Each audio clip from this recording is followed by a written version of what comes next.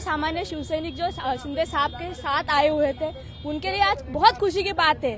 और आज हर एक शिवसैनिक को जो बारा साहब ने जो वृक्ष लगाया था, उसका आज वट वृक्ष हुआ है। और सब लोग शिंदे शिंदे साहब के साथ है, इसकी इसकी खुशी हम बता नहीं सकते। वो जो है, वो बाद में देखा जाएगा। अभी अब इतनी खुशी के दिन है और इतना खुशी का टाइम है कि चिन्ह हमें मिला है। इसके बढ़कर आप और अभी इस समय कोई भी बात नहीं होनी चाहिए। जो होगा बाद में वो देखा जाएगा।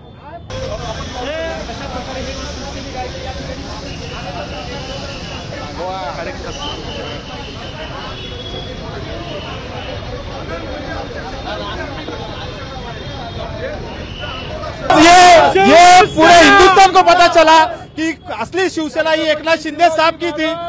हिंदू हृदय सम्राट बाला साहब ठाकरे जी के हिंदुत्व के विचार लेके जो एकनाथ शिंदे साहब आगे बढ़ रहे थे और उनके पीछे जो पचास आमदार, तेरह से ज़्यादा एमपीज और हम जैसे हज़ारों, लाखों शिवसैनिक उनके पीछे थे, उनका विजय ये शिंदे साहब ने खुद कहा कि ये शिवसैनिकों का विजय है, ये हिंदुस्तान के घटना का विजय है, भारतीय राज्य घटने का विजय है। जो शिवसैनिक चाहते थे जो बाला साहब ठाकरे के सच्चे शिवसैनिक चाहते थे कि धनुष्यवान हमारा ही होना चाहिए, वही हुआ, शिवसेना भी हमारी है और धनुष्यवान भी आगे, हमारा है।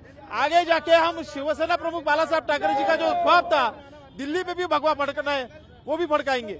संजय राउत जी के बेताल वक्तव्य के वजह से ही शिवसेना फूटी है। अभी भी सुधरो संजय राउत जी, आपके वजह से एक पार्टी फूटी है, पार्टी का चिन्ह चला गया, नाम चला गया एक आदमी के ऊपर से। इसीलिए हम यही कहते हैं कि हमें उनसे उनसे, उनके बारे में कुछ नहीं कहना। आगे जाके जो शिवसेना प्रमुख हिंदू हृदय सम्राट बाला साहब ठाकरे जी का जो सपना था, वो पूरा करने के लिए हम सब शिवसैनिक आगे बढ़ेंगे अभी। आदरणीय, वंदनीय बाला साहब ठाकरे का आशीर्वाद हमारे ऊपर रहा है।